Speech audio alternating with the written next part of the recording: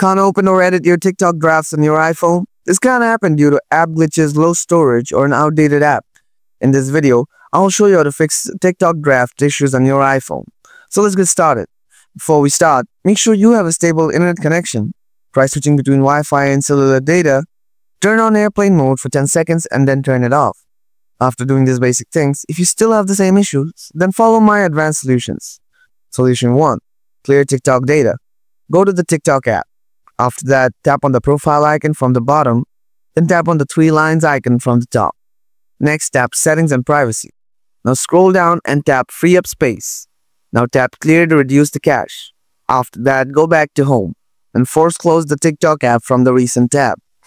Solution 2. Offload TikTok app.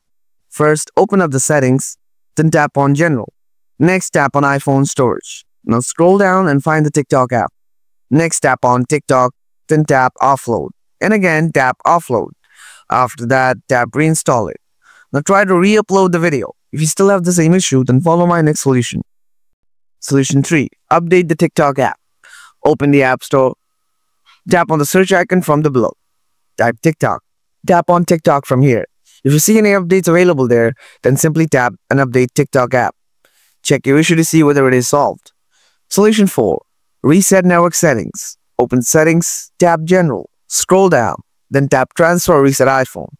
After that, tap Reset. Now tap Reset Network Settings. Then enter the passcode of your iPhone if it wants. Tap Reset Network Settings again. After resetting the network, go ahead and check whether your problem is solved or not. And that's it. Now you should be able to access or edit your TikTok draft videos on your iPhone. If you have any questions, drop them in the comments. Thanks for watching, and I'll see you in the next one.